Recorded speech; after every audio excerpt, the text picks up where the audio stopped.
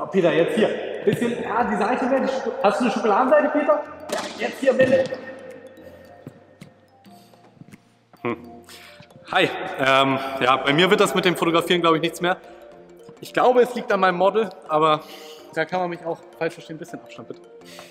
Nee, heute haben wir einen ganz besonderen Gast. Äh, der, hat, der kann mit der Kamera ein bisschen besser umgehen als ich. Vielleicht auch mit dem Mikro, aber dazu seht ihr was in dem Interviewteil. Jetzt kommt erstmal der Sportteil mit Philipp. Ich hoffe, ihr habt Spaß. Wir sehen uns nachher beim Interview.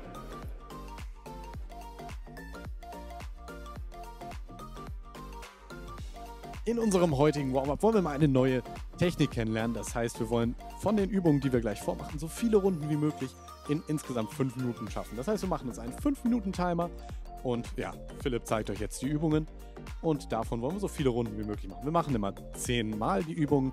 Erstmal ein Hampelmann, danach 10 Mal das Knie hochnehmen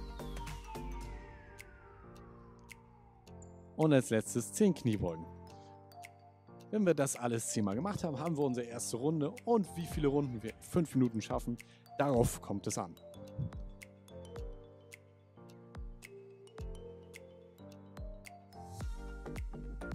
Kommen wir nun zu unserem Lieblingsteil, dem Ballteil. Wir wollen etwas an unserem Backup-Dribbling arbeiten. Das heißt, wir suchen uns einen Punkt, dribbeln darauf zu und wollen dann ein Backup-Dribbling zurückmachen. Dabei ist wichtig, dass wir den Ball vor unserem Verteidiger schützen und wenn wir zurückgehen, machen wir einen Handwechsel, damit wir beide Seiten trainieren. Wir probieren das natürlich zu Hause noch etwas explosiver zu machen. Geht dafür am besten raus, macht das 20 Mal, macht eine kurze Pause und fangt dann wieder von vorne an.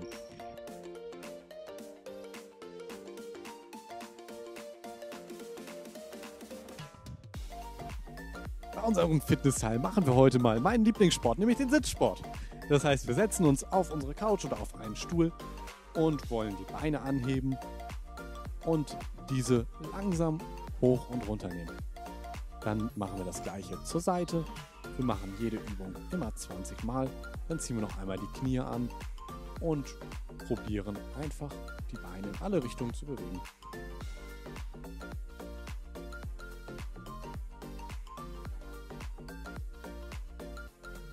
Bei der heutigen 30-Sekunden-Challenge zeigen wir Peters Lieblingsübung.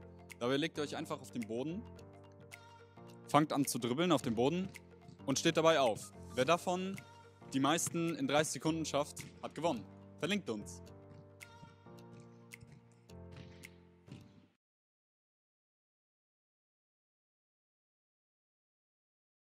So, da sind wir auch schon wieder am Ende unseres ja, Videos angekommen. Wir kommen jetzt zum interessantesten Part immer zum Interview.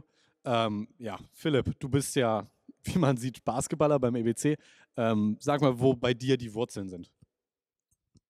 Ja, also ich habe äh, ganz normal in der Schule halt Basketball gehabt und äh, ein Kumpel von mir hat damals ähm, angefangen mit Basketball und dann fand ich das auch cool und habe halt auch angefangen. Und äh, damals war das noch in der Goethe-Schule mit äh, Spiggy. Und ähm, ja, dann habe ich einfach ganz normal, ich glaube U10 war das damals, ich weiß es gar nicht mehr genau. Und äh, dann halt immer weitergemacht, äh, wie gesagt U14, U16 dann äh, ein Jahr Jugendbundesliga gespielt und ähm, dann aber wieder, sag ich mal, runter degradiert. ähm, normale U18-Liga. Und ja. Und du bist ja ähm, dem Verein nicht nur als, ja, als Spieler erhalten im Moment, äh, sondern du hast auch andere Sachen, die du im Verein machst. Ähm, erzähl doch mal, ja, was du da genau machst. Ja, also wir helfen immer beim Aufbau von den äh, Heimspielen in, den, in der Stadthalle. Und äh, ja, helfen halt eben alles aufzubauen, die Flyer zu verteilen, etc. pp. Ähm, ansonsten mache ich noch äh, bei den Spieltagen die Instagram-Story von den Seawolves. Und ja, wenn Tobias Hahn mal was braucht, dann äh, kann er sich auch immer bei mir melden. Deswegen Ja, super. In der Stadthalle haben, haben wir uns ja auch schon ein paar Mal gesehen. Ähm, du hast jetzt uns was mitgebracht. Was kannst du mir denn ja, über diese schöne Kamera sagen? Ja, also ich fotografiere leidenschaftlich seit, ich glaube, vier Jahren mittlerweile. Ähm, es hat ganz simpel angefangen in einem Familienurlaub, wo Papa dann eine Kamera hatte und ich die auch unbedingt haben wollte oder damit was machen wollte, aber es nicht durfte. Und dann irgendwann selber eine gekauft und dann einfach immer ein bisschen rumprobiert, überall mitgenommen. Ja, so ist das ein bisschen entstanden. Ja, was würdest du sagen, äh, für mich als Laien, was ist der Unterschied zwischen so einer Kamera und vielleicht meiner Handykamera? Ja, ähm, also die Flexibilität, sage ich mal, man kann viel mehr damit anstellen, so schärfen, unschärfen, äh, die Qualität natürlich, ähm, ja, und halt einfach viel besseres, professionelleres Arbeiten, sage ich mal. Ja, du hast ja ähm, gerade schon erzählt, dass das vielleicht so ein bisschen äh, von deinem Papa kommt, die Leidenschaft. Ähm, hast du Pläne, das jetzt in Zukunft weiterzumachen vielleicht? Ja, also ich habe vor kurzem, vor zwei Monaten, glaube ich, ziemlich genau, ähm, ein Kleingewerbe angemeldet und ähm, ja, versucht das halt irgendwann als richtiges Gewerbe zu machen und dann ähm, ja, halt einfach das als Hauptjob zu machen. Mal sehen.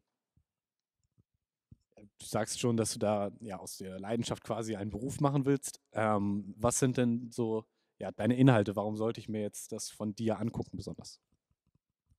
Gute Frage. Also ich versuche mich halt so breit wie es geht nur aufzustellen. Ich ähm, mache ein bisschen YouTube, ich bin auf Instagram aktiv, auf Spotify, ähm, alles Mögliche und ähm, ja, halt diese Vielfältigkeit. Ich versuche auch äh, nicht nur, sag ich mal, eine Sache zu fotografieren oder zu filmen, sondern halt die größten, verschiedensten Sachen, mal im Urlaub, mal halt zu Hause, wo es halt immer geht. Ich versuche meine Kamera so oft und wo es halt geht mitzunehmen. Und ja. Ja, neben ähm, ja, den Fotos und Videos machst du ja auch Podcasts jetzt. Wie ist es dazu gekommen? Das machen ja, ja doch schon viele. Ähm, warum hast du dir jetzt gedacht, so hey, vielleicht kann ich, äh, vielleicht kann ich da was machen? Was war da die Motivation?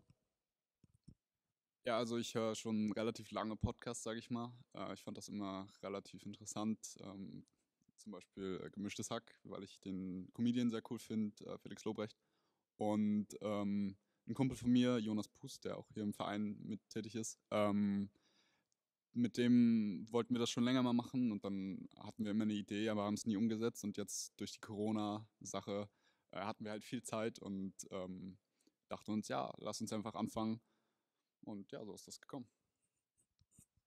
Ähm, was habt ihr da für einen Style? Seid ihr eher witzig oder seid ihr jetzt informativ vielleicht zur Corona-Krise oder ja, was, äh, warum, warum hören die Leute euch?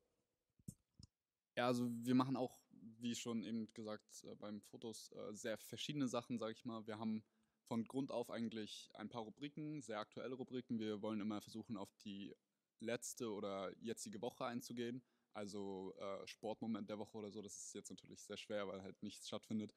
Ähm, und ansonsten wollen wir auch manchmal uns Gäste ranholen und ähm, bisschen so eine Art Interview führen. Wir hatten jetzt zum Beispiel Luka Kaminski, ähm, das ist ein Rapper, der äh, in Rostock halt wohnt. Und ähm, ja, ein sehr interessantes Interview geführt. Und sowas wollen wir in Zukunft halt auch mehr machen. Irgendwelche Leute, die irgendwelche besonderen Leidenschaften oder ähm, irgendwas gut können, halt ähm, zu interviewen. Ja, ist auf jeden Fall eine coole Sache. Ähm, vielleicht tauschen wir da mal die Gästelisten aus, dass wir vielleicht untereinander noch ein paar finden. Ähm, du bist jetzt ja, ja, du machst ja diese, diese Filme und einen Podcast. Ähm, was kannst du denn dann als Macher von solchen Sachen vielleicht ja, mir jetzt empfehlen oder den Leuten, die zugucken, was man sich in dieser Zeit angucken oder anhören kann?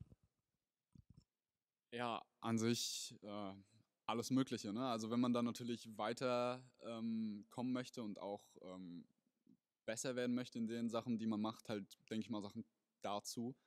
Ich denke mal, das geht einem beim Basketball oder bei der Fotografie, ist egal wo, geht es einem so, dass man, wenn man etwas sieht oder hört, ähm, meistens daraus was Gutes ziehen kann und äh, daraus lernen kann.